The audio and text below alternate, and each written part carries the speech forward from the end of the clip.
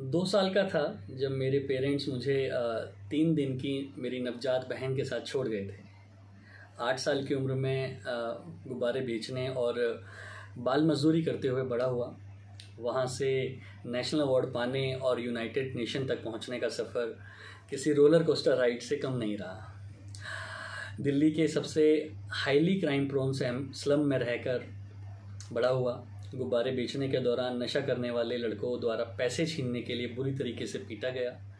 बस वहीं से नशा करने वाले लड़कों को खेल में इन्वॉल्व करके नशे से दूर करने के लिए दिल्ली पुलिस का हाथ थाम लिया।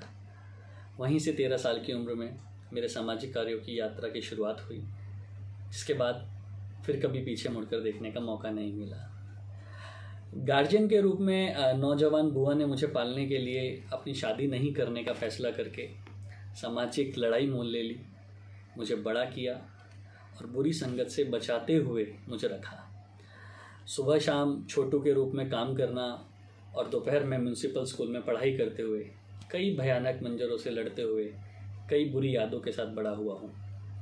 उत्पीड़न और संघर्ष के वो पल आज जब भी याद आते हैं तो बस सहम जाता हूँ। सोचता हूँ, लेकिन फिर एक थैंक्स निकलता है, उस ना दिखाई देने वाली ताकत के लिए।